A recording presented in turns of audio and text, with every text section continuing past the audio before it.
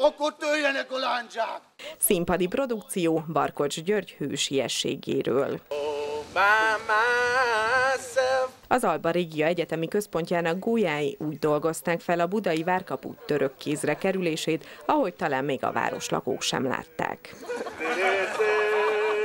A Gólya túrán az iskola új hallgatói nem csak különleges történelmi előadásokon vettek részt, városismereti vetélkedőn is megmutathatták tehetségüket.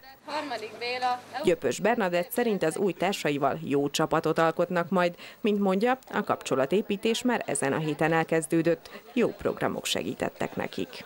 Hát így a feladatok is, meg ahogy az információkat kerestük, hívogattunk embereket, így jó volt. Az egyetemen most már hatodik éve rendeznek az új hallgatóknak hasonló programokat. A szervező szerint ezekkel is szeretnék megkönnyíteni a fiatalok beilleszkedését.